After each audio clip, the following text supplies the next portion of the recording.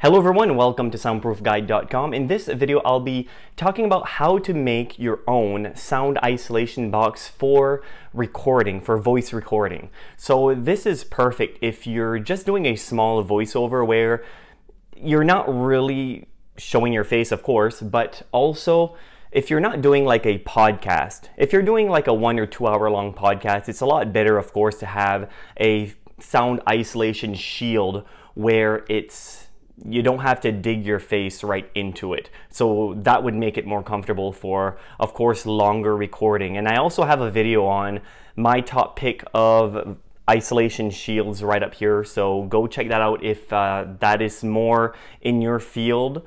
But if you want something that you just need better sound because your room doesn't really have the proper acoustics, a sound isolation box will work perfectly. And that's what I used for a long time just to make recordings, voiceovers.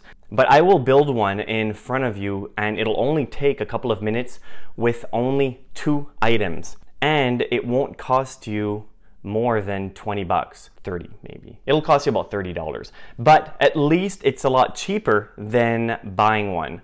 If you wait towards the end of the video, I'll give you some advice on how to build this box without using acoustic foam panels and with an item that you probably already have in your home. So make sure to stick around till after the acoustic foam and I'll give you a little tip on what to use that is extremely similar to acoustic foam panels that you probably already have in your home. So let's begin. So one big reason why I choose to build these isolation box instead of buying them is because of what you will see on your screen right now. For $50 on Amazon, if you're looking on your screen, you have quite a similar type of box that I am going to build. You have the empty boxes that comes with it. You have the acoustic foam panels. Now there's two ways of doing this. You can do it the nice looking way, or you could do it, eh, doesn't look as good, but it still does the trick pretty good. So what's nice with going with a box or even a Rubbermaid uh, container is that it's a lot bigger. So if you want, you can put your whole head in it and it, it, can work that way. Whereas a smaller box, you can just put the microphone in it and kind of just speak in front of it, but it will make it sound a lot better. So you have your box, pretty easy. And behind me, you have acoustic foam.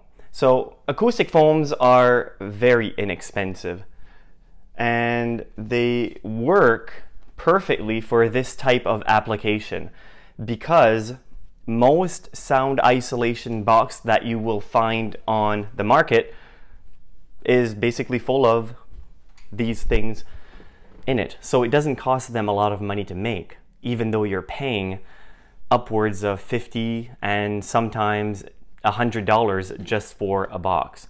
So in the end, it doesn't have to look perfect. The type of box that I like are these foldable boxes. You just take the bottom out, you fold it back. So if you're on the road, you can bring this all with you and you don't really need to lose space. You can just put all of your foam inside the box. The thing is, if you want to make it look perfect, and you can, but then you'll have to cut everything to size, and you'll most likely have to glue the acoustic foam into the box for a more permanent setup, and you should be good to go. Now, this box is small enough for three acoustic foams. So all I need to do is curve them a little bit, which will certainly not hurt anything. It will most likely help matters. So you just, it'll be more of a curve inside. So now all you need to do is place your microphone right inside. So this is perfect for just voiceovers. If your room doesn't have the proper acoustics, then you can simply make a voiceover and I will show you the difference in sound in a minute. Just a quick pause, if you like this type of content, consider subscribing to our channel. And also feel free to leave a comment, I would love to hear your feedback and also your questions that I would do my very best to answer. Thank you. Another way that you could go about it is just to use a box. Now, using a box will give you a little bit more room if you want to put your head directly in the box. Let's say a small isolation box doesn't really work for you. You can use one of these. Same application. You just put a bunch of acoustic foam inside. I usually don't like, even with the box, to glue anything inside because for the amount of times that you're going to use this type of setup, you're probably only going to be using it once or twice a week to do a quick voiceover to make it sound better. So there you go. I mean, it takes just a few seconds or maybe a minute. Put your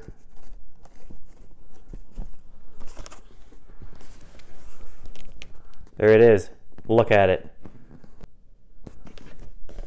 I'm impressed. I'm really impressed with this work. I'm really impressed with this work. So now I'll do a little sound test on these boxes just so you can kind of hear the difference.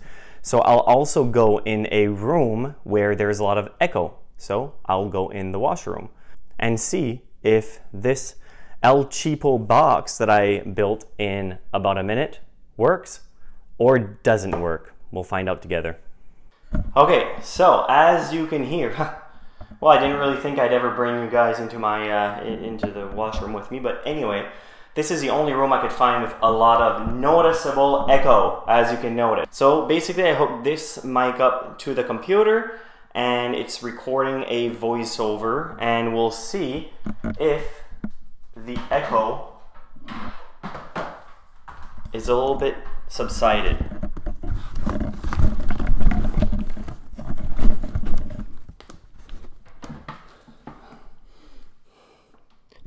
Hello, buddy. How does it sound now? So now I am, I can kind of still hear an echo behind me, but I'm not sure if you can hear it where you are. So if you're if you're a person that likes to uh, kill two birds with one stone, this is excellent. This type of box because you can go in the washroom and if you know that you're gonna be there, crack something. If you think you're gonna be there for an hour, well then you just bring your sound isolation box put it there. You can sit sideways on the on the toilet. I like i mean if if the toilet's big enough and you're small enough sit sideways. And then you just uh, do your voice uh, over and nobody would even know that you were in the washroom while doing it because i think it works so that's basically how I would build one. Takes a couple of minutes and it doesn't cost you that much money. You can also use, I've seen people use the type of foam that goes on top of a mattress. You can easily cut that up to size if you already have that in your home right now that you're not using it. It would save you from clicking in the description below and buying the acoustic foam. So probably you already have everything you need in your own home to build this. All you need is a box and some foam. And like I said, if you have a mattress that has that type of foam, go check it out, cut it up to size, make your own acoustic foam. It's fairly easy and it'll probably cost you a lot less money than these professionally cut absorption foam. So if you do want to go the more professional route and you want to buy one, the one that I was talking about at the beginning of the video, I have that link in the description below. Now, Another box that I would recommend is a little bit more expensive, but it is very well built and it looks very good. So if you will be doing some type of podcasting and you don't really have the funds to completely transform the room, and you want something that looks good on your desk, then this is the types of boxes that I would actually go and buy instead of just building whatever I, whatever it is I built. It does work as you can see or as you could hear. So the isolation box that I would recommend is from another one from the company called Pyle, but I would actually pay $30 more to get something a lot better in my opinion. Now this box comes in at around $80. What I like about this box is that there is no top or bottom and it just feels a lot less claustrophobic if you're going to be speaking really close to the mic for an extended period of time. So this, some people would say, is more of an isolation shield, but we'll call it a box without a top or bottom. Another thing I like about this box is that you only pay $30 more and you have a much su superior product in my opinion and you have a microphone stand that comes with it. So that's another expense that you don't have to bother or try to figure something out and hold your mic in there. You can put your mic exactly where it's supposed to be inside the box and you should be good to go. So I'll have a link in the description below of this product. Feel free to take a look at many of our other YouTube videos and also some of our articles on our website soundproofguide.com. Don't forget to click the like button if you enjoyed this video and also consider subscribing to our channel if you like our content. Also feel free to leave us a comment below if you have any soundproofing questions of your own. We will certainly try our very best to help you. Thank you very much for watching and I hope to see you again in the next video or any other videos in our channel. Thank you very much.